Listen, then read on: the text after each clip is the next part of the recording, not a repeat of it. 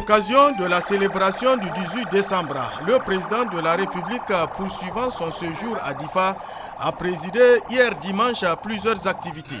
Tout d'abord, l'inauguration de la place des martyrs en mémoire aux soldats tombés armes à la main sur le champ de bataille. Après la coupure du ruban, le chef de l'État s'est dirigé au pied du monument pour implorer Dieu Tout-Puissant afin qu'il les accueille dans son paradis éternel. La deuxième étape a constitué le baptême de trois avenues. La première dédiée à Mohamedou Bouhari, président de la République fédérale du Nigeria. La deuxième porte le nom de l'ancien président du Tchad, Idriss Déby Itno, en mémoire à ce brave et vaillant guerrier tombé sur le front. La troisième avenue est dédiée à l'ancien président de la République, Issoufou Mohamedou. Par ce baptême, le Niger vient de magnifier sa solidarité avec le Nigeria et le Tchad dans la lutte contre le terrorisme. Le président de la République, Bazou Mohamed, a par la suite procédé au baptême officiel de l'aéroport international Tanja Mamadou de Difa, entièrement rénové, dont les travaux ont coûté 28 milliards de francs CFA, en reconnaissance au service rendu à la nation. Un aéroport qui répond désormais aux normes internationales avec euh, toutes les commodités. À l'occasion de cette cérémonie, le président de la République est revenu sur les mérites de Tanja Mamadou. Tanja quelqu'un qui est de la région de Difa, de Maïne Soroa plus précisément.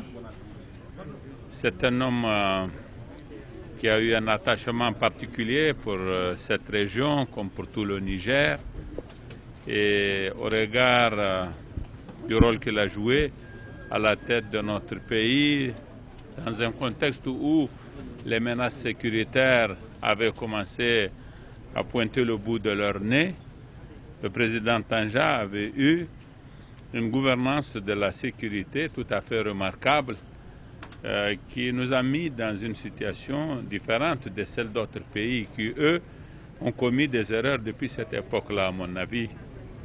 Et c'est une façon de lui rendre hommage que de donner le nom de cet aéroport à sa personne à lui. Et je pense que c'est un choix tout à fait judicieux. Je m'en réjouis et j'en suis même plutôt fier. Le gouverneur de la région de Difa a saisi l'opportunité pour féliciter et remercier tous ceux qui, de près ou de loin, ont contribué à la réussite de la fête Difa Ingla. Tout naturellement, au lendemain de la fête, compte tenu de tout ce qui s'est passé, tout naturellement, donc je, ne peux qu'être fier et très heureux que tout soit bien passé.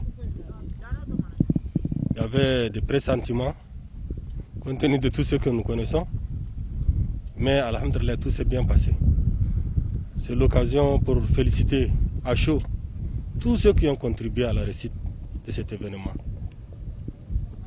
Tout le monde, je vais prendre le risque de citer, mais je sais que certains seront oubliés.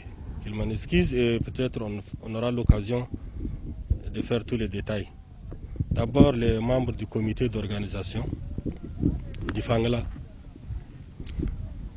et les membres du gouvernement qui se sont impliqués depuis plusieurs années qui ont accompagné la presse, tous les participants. Vous avez vu hier au défilé militaire et, à la Fantasia. C'est plusieurs mois ou plusieurs semaines de préparation. Les FDS qui ont assuré la sécurité pendant longtemps de la région et qui ont intensément encore renforcé pour que la fête soit une réussite. n'ont pas ajouté le moindre incident. Tous ceux qui ont contribué, les chefs traditionnels qui ont mobilisé des troupes, qui ont investi des sommes pour arnager les montures. Donc, les journalistes les hôtesses, les agents du protocole qui ont beaucoup travaillé, vraiment j'ai beaucoup apprécié leur travail.